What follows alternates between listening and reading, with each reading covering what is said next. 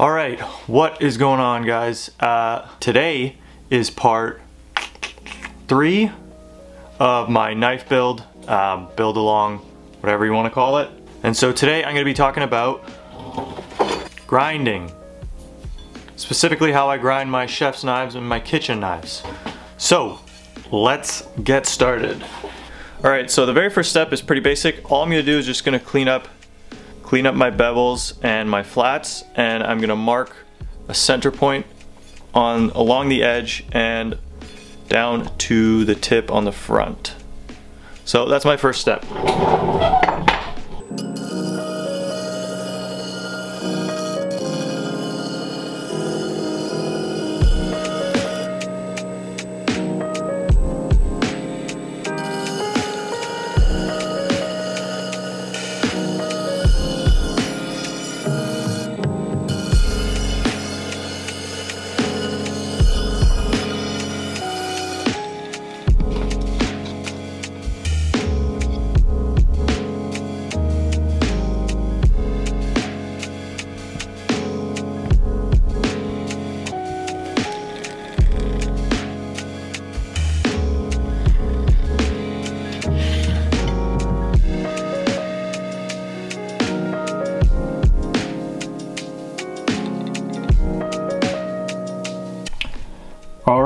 Guys, these are the steps that I use when grinding my chef's knives. So, here you go. Take a screenshot, whatever, don't care. So first thing I'm going to do is I break the 90s. Break the 90s on the edge, bring up the primary bevel, um, probably about a third to half of the way up. This is some fairly thick steel that I'm using right now. One, it's all I have and two um, I like it a little bit thicker. It gives me I feel like it gives you a nice uh, handle in the pinch grip. But I'll thin it down anyways so it's not a big deal. Then raise those grinds and add in a distal taper near the front. True up your bevels blend everything and then finally convex. So the first thing I'm going to do is going to break these 90s when you're breaking the 90s make sure you use a dead belt if you put on a fresh belt and you put this 90 degree edge of your knife hardened steel into that abrasive, you're gonna shear every single part of that abrasive, which is definitely not something you want when belts are, you know, 10 to 15 bucks each. So, step one, I'm going to break the 90s, not the decade, the knife.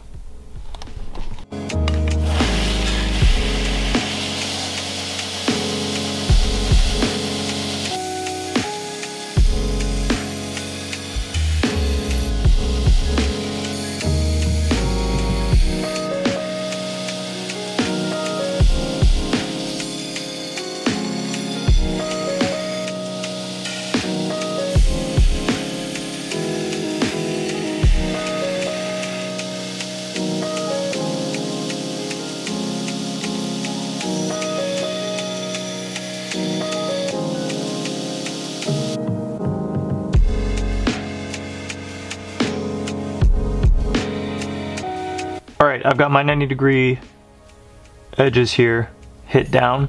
I probably hit that at a 45 degree angle. Um, that's just going to make sure that going forward there's no harsh edge here that's going to rip up my belts because I don't want that. I took it down to about eh, 20 to 30 thousandths of an inch. And at this point you want to make sure that you have as straight a line that you can get because obviously you want that straight cutting edge so you know where it's going to land each time. So my next step is to do the primary bevels. Now since this steel is a bit thicker than probably what you'll be using or maybe not, this is around 0.16. It's going to be much thinner than that when it's done though.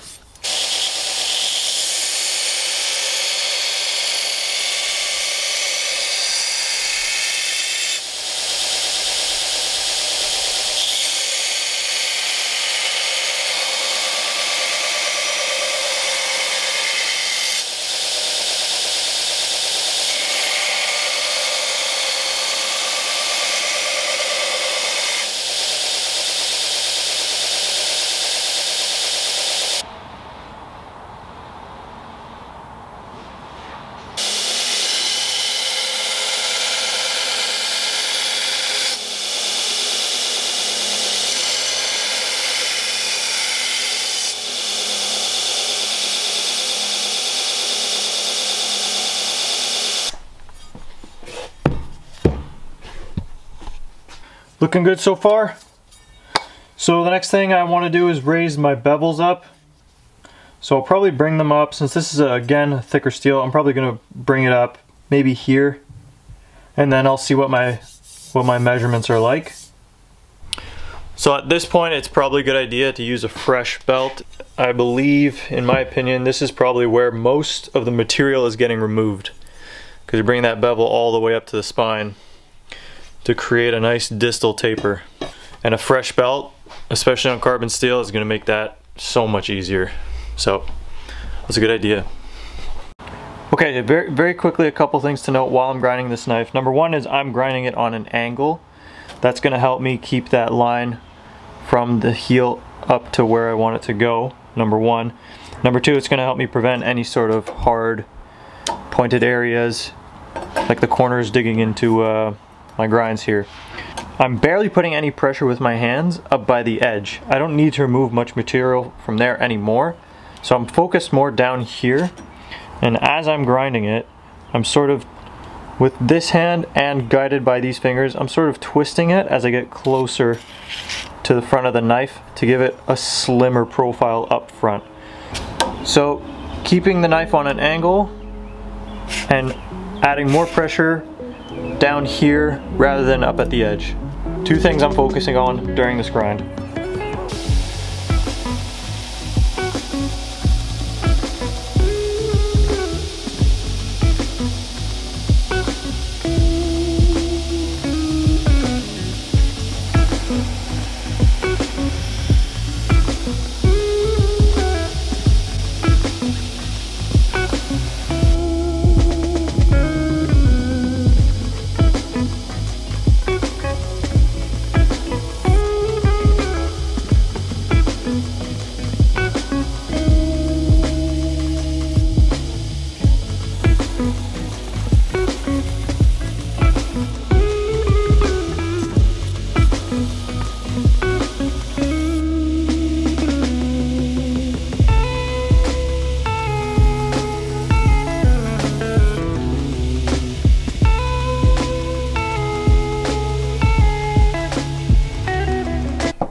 So my dimensions here, sorry, here, no, sorry, here, we're looking pretty good so far. I've got it pretty thinned out. Distal taper is looking swell thus far. So now I'm gonna move on to truing up the bevels. So while running my flat platen, you know, this way, which is how you would normally grind a knife, is great. It doesn't cover that much surface area. So what I'm going to do is I'm going to tilt my flat platen, on an angle and run my grind lines like that, pretty much the length of the blade. And the point of that is that when I run the flat, flat when I run this this blade, you know, on that angle, I'll be able to flatten out any higher low spots and really flatten out that blade as best as I can because I'm going to be coming I'm going to be covering more of a surface area um, with the belt than I would if I'm running the belt you know straight up and down from the edge to the spine.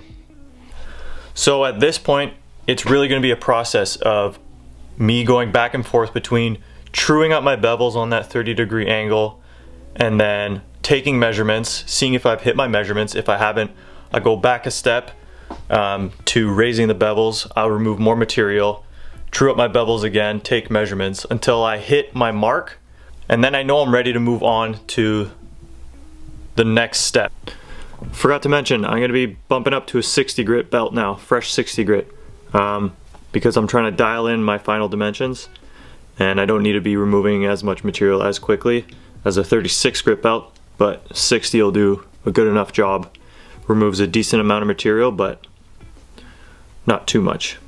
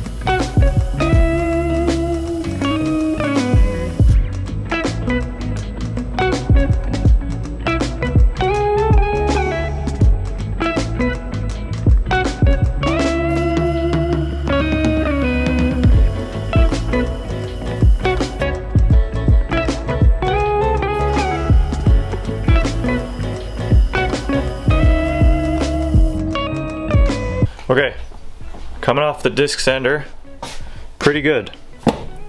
Yes, I didn't get all these scratches out, but the important part is that I was just, pretty, I'm pretty much just double checking that everything's flat where it needs to be. And it is. So that's good news. We can move on to blending the tapers. So now I'm just gonna basically right before where the handle starts, I'm gonna start vertically on my grinder to pull the material down this way.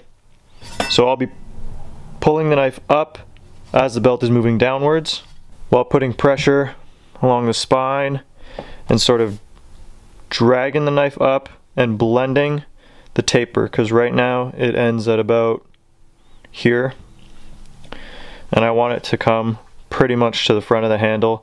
This is also going to help me remove more material up at the spine. So that's what I'm going to be doing right now and I will show you what that looks like.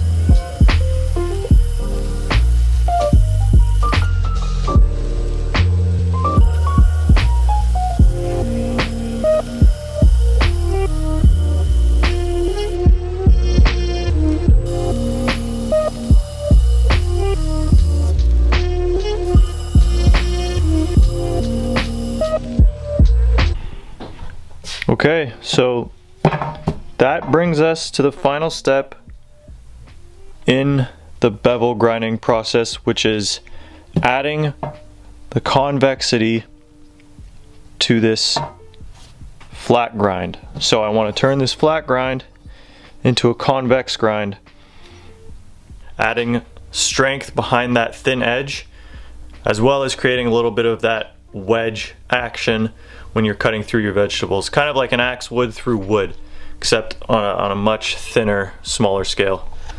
Now, at the moment, I think my the the edge of my knife isn't sharp.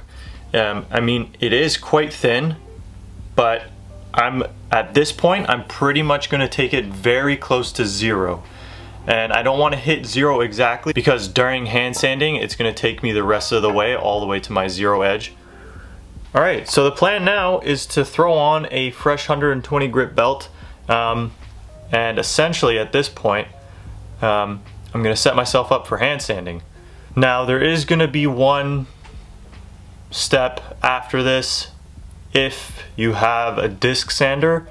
If not, you can use this step to take your, you know, the, the belt finish up to 220, 400, whatever you want. If you're not hand sanding, then you're not hand sanding. If you are, it's best now to make sure you have nice clean grinds all in the same grit. That way when you jump into hand sanding, um, you're not gonna be surprised with, you know, a 36 grit scratch or a 60 grit scratch. Something that's gonna take you a while to get out or, you know, force you to jump back to the machine. So anyways, that is my plan.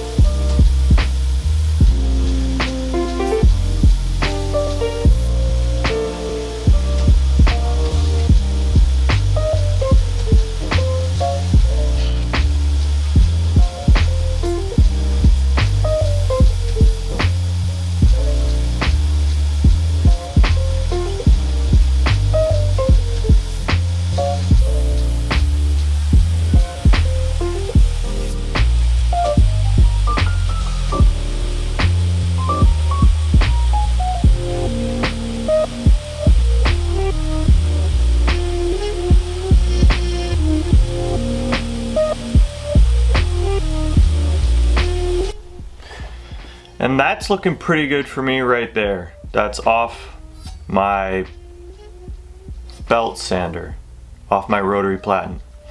So that could be the end of it right there. Um, but like I mentioned, there's one more step that I like to do because I have a disc sander. Yes, I know, I've mentioned it a million times, but it's such a helpful tool. The last step I'm gonna do, I'm gonna use my disc sander with a leather backing to help bring my grit up to about, I think I'll go to 400. And the, the disc sander with a leather back really, really helps smooth out and blend that grit. That way, once I jump right into hand sanding, I can start right at 400 and honestly, it's a breeze from there. So anyways, guys, that's it for this one. Hopefully you learned something. Uh, if you have any questions, comments, leave them down below and I will get back to you. If not, I will see you in the next one. Peace.